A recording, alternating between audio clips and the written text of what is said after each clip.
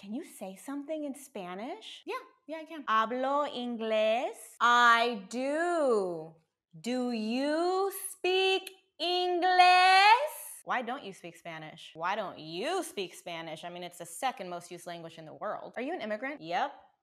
Just like you and your family. Did your parents come here illegally? No. Ooh, can you teach me how to dance Mexican? Is that a TikTok thing? Oh, you must love tequila. Yeah, and you love plain tasting generic soda water, right? You love Cinco de Mayo, right? I love it too. Yeah, I do, but we don't do all this. You guys made that up. Do you like have a really big family? Yeah, actually, I do. It's part of our plan to actually get our land back. Is it even safe to travel to Mexico? Right now? Yeah, it's just as safe as crossing the street. I bet you cook the best tacos. Yeah, I do. I also make a really great chicken piccata. Why don't you like spicy foods? Okay, because it makes my tummy hurt. And what? Why are you Latina women loco? Crazy?